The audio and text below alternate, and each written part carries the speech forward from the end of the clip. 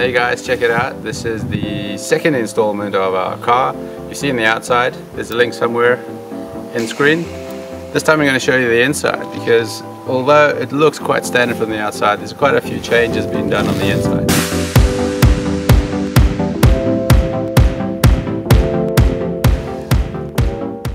Algeria, Tunisia, Mauritania, Libya.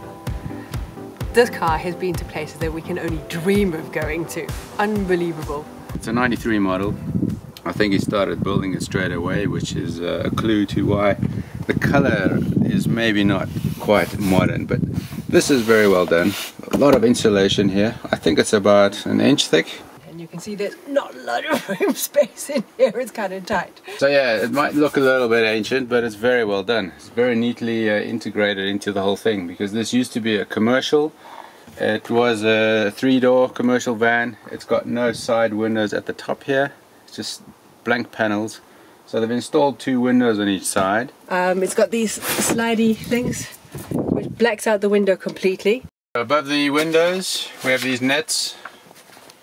At the moment they're not being used for their intended purpose because we're not sure exactly what their intended purpose was. They've made two boxes, actually identical, one on each side, so you can lift them out separately and take them out of the car, which is quite handy. So yeah, we've got a lot of space in here, a lot of height, a lot of depth. Every piece of real estate is being used. On the side above the wheel arches, we have boxes as well. We don't just camp all the time, we have to work as well, and this car gets used a lot. So sometimes the car is just filled chock-a-block with people's linen from a changeover day. Uh, we do maintenance every now and then, so we need the car to be have a, a, a good open uh, volume in the back. Um, that's why we can't set it up like uh, that wonderful camper van that we uh, showed the other day. And you can see they flip up. Uh, we've then utilized this according to how we go camping. So we put all of the stuff that we use the most in the front part. So you can see over here there's one uh, box missing and that's our tea set, which we've just had a cup of tea from. we have another one just now. We've got assorted things in here, all our camping gear, gas cooker there, we've got our eating utensils. You can see it's actually a repurposed uh, idea of a toolkit, but it works perfectly for keeping everything neat and tidy and you don't have rattling what you would in a normal cutlery drawer. So here we have an open space. I'm assuming it was for a fridge. This is the first little box. So yeah, it's a mess of tools at the moment because that's what we use it for. Under here, there's another space. This lives underneath there. This is one of the most important tools in the car. As you can see, it's well used. Up here, we have a lot of other tools for our work as well. Fixing things in houses, the most important tools for the car are these. As you know, the the biggest problem with these cars is the clutch. Normally the master cylinder and the slave cylinder. So actually this is all we need to fix the car. They, they had this flat so you could sleep on it. Um, we, we can't be sure whether they had one big mattress that fit on top of that, but it'd be very impractical to work with that. So it could have only been two sides of the, you know, uh, two single mattresses that maybe they lifted one up. I mean, if you're lying on here and you need something underneath, do you do? It just seems crazy. So maybe, or maybe it was just one person. They had one mattress, and then they would slide it over to whichever side they needed. It's uh, for for two people. I find it a bit. Uh, well, it doesn't work for us, and also this headspace for us is a huge problem. You know, sitting here really cramped.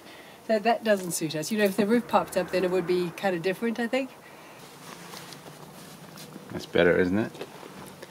This is a nice little cupboard. I'm not sure what he used to put in here. I'm assuming it was his shirts that they could hang up. There's a little hook up here. You put a coat hanger on it and hang your shirts in there. They keep them crease free because when you're driving through the desert you've got to look good. Pipes with a to clear out stuff. Try and get dust out of the car which is always a mission. That's for the tires. We've got some oil for the engine because it is using a bit of oil. This is the shower which clips on the side of the car. We've got tie wraps. Don't ever leave home without them. Got another fire extinguisher that makes two and then a first aid kit for if you need it. So I'm sure we're not using this little cupboard to its full potential. But at the moment, this is working for us. And it keeps things out of the way and rattle free as well. And of course you need a place to hang your hat. This is not a standard light, at least not from the Land Rover factory as far as I'm concerned. But it's big, gives a lot of light because this is quite a dark finish inside. You need light at night. Up here we have a little ventilation flap. It's even got a little mosquito mesh, mesh which has just come off in my hand. On the left hand side it's a nice uh, use uh, of the area in the car because this area behind the rear wheel normally doesn't get used, right? Um, we might use this for something else. We're going to sort out all the tools, put them all in one place, and maybe use this for gas bottles or something else. Here is a 12 volt connection. A box of tea fits right into here, which might be handy for you to know. This switch is for the compressor and the compressor line clips in here on the other side of the car which bizarrely uh, I don't know ergonomically that doesn't make sense so this is a novelty in a Defender with three front seats I'm sure you haven't seen this before more tools you never know what you're going to be looking at so you have to have one of these as well you have no idea how many people I have jump started with this car which is uh, always a good thing with a Land Rover. In fact, people always approach us when we are camping on a campsite and if they need something, they need a screwdriver or a hammer, they come to us because they probably know Land Rover, he's got everything on board. So they're always happy to help. So the reason these things are forward is for this flap here. This creates a nice long bed which is long enough for me to lie down. I'm six foot two and it's pretty comfortable already so I can understand the thinking why they did this. There, is, there was one here as well which folded up over here which we've taken out for the moment because we're not really using it as its intended purpose. But that's the reason for leveling it out here so you can get a nice flat bed. And in here we have our camping gas cooker the pan, extension leads. and the other side you'll see the reason why the boxes are this height and I'm assuming that was the reason for that. So yeah, it's a bit lot of space, a lot of interior space, keeps it nice and flat and clean inside the car and all your clutter gets hidden away inside the boxes, which is nice. On this side you can see what some people might think. They have actually asked us if this is air conditioning. And in fact no. Is it on?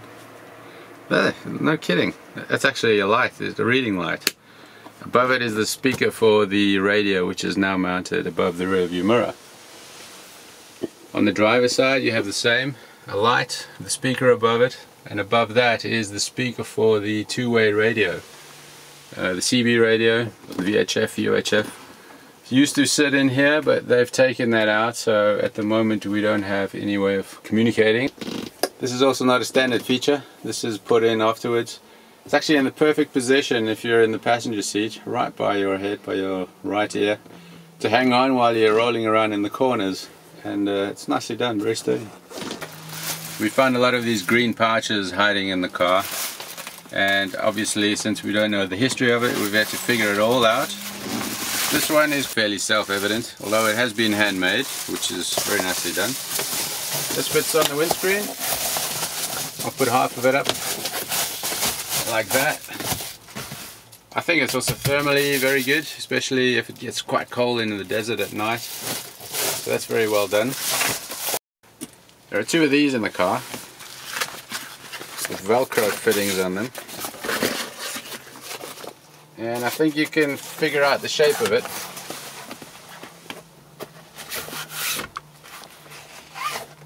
It's on there and I can actually close the door. And that's thanks to the famous panel gaps that are a Defender trademark, of course.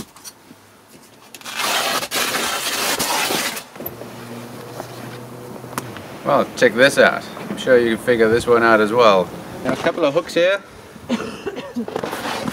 Hook it on there.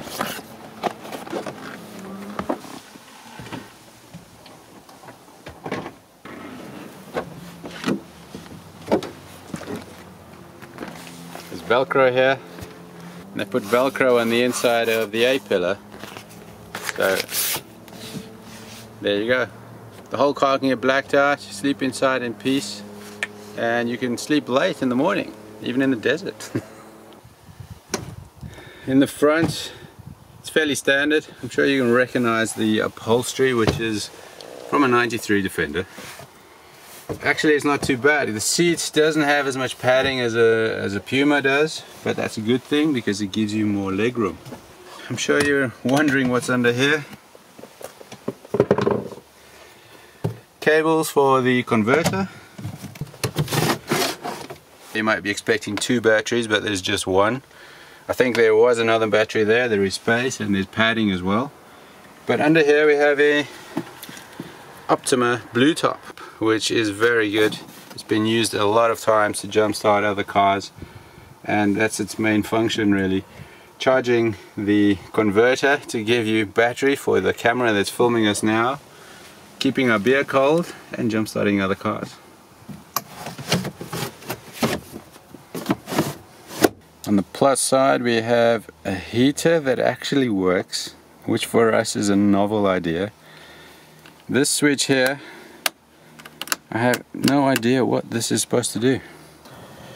Over here there's a standard interior light, hazard switch. This switch actually runs the pump to pump diesel from the auxiliary tank, which is 50 liters just behind the passenger seat, to the main tank, which is now 110 liters, which we've shown you in the previous video. So that doesn't really get used because we don't use that extra tank.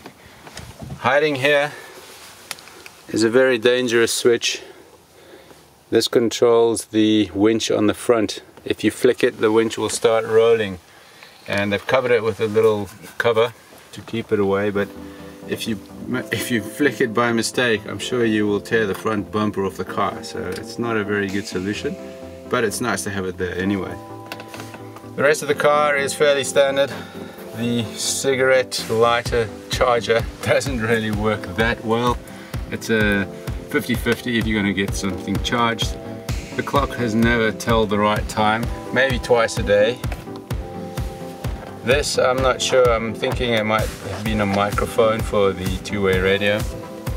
And the rest are just things we normally use, little pen light torch, a knife, Leatherman. Well guys, if you enjoyed watching this, give us a like down below, share your comments.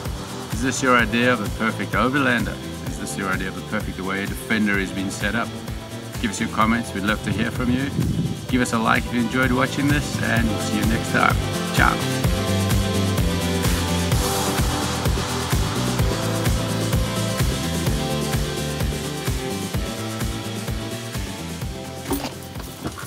That's thanks to the panel gaps that are famously uh, Defenders. Uh, how can I say that better? Trademark. Trademark.